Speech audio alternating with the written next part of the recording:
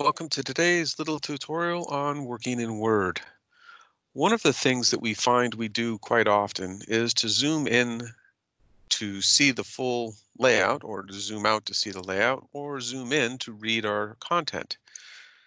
We do this by generally using the little zoom slider at the lower right corner of our status bar. You can see we can drag the slider, we can use the plus to zoom in, we can use the minus to zoom out. Very few of us, though, will go to the View tab in the ribbon and locate the Zoom group where we can find a one-page zoom button and a page width zoom button.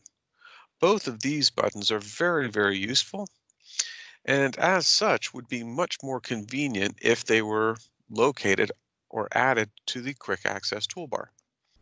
So to do that, I'm simply going to go ahead and locate those buttons on my View tab right click on that button, in this case the one page, and I'm going to choose the top option, which is to add it to the quick access toolbar.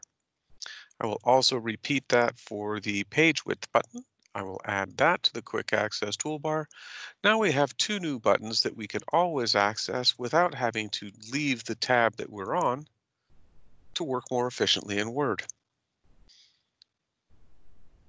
Thank you.